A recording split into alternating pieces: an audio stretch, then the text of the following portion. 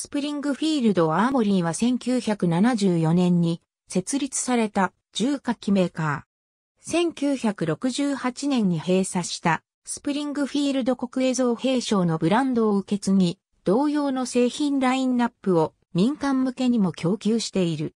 ただし会社はあくまでブランド名を買い取ったのみで、設備や人員は前身である、イリノイ州のメーカーそのままであり、社名以外に直接の関連はない。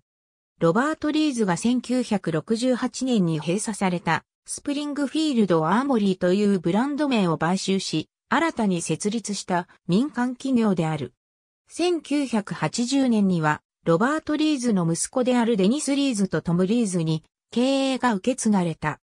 民間会社として設立した当初は M14 の民間モデルである M1A を中心に生産を行っている。M1911A1 の良質なコピーを製造することで知られており、自社製カスタムのみならずガンスミスによるガバメントカスタムのベースとして使用されている。さらに現在では、クロアチアから製造権を購入した HS2000 というポリマーフレームハンドガンを XD としてブランド販売しており、順調に売り上げを伸ばしている。XD、ありがとうございます。